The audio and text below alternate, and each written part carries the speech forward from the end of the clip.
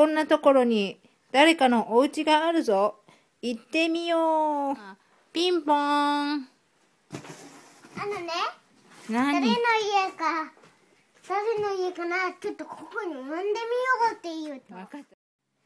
ここは誰の家かな？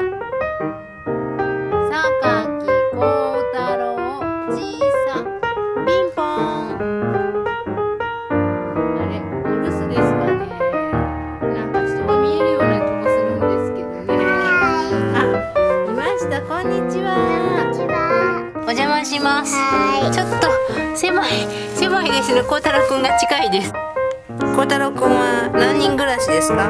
コートは一人暮らしでどうですか？一人暮らしは楽しいですか？す。楽しい。えー、お家で何してるんですか？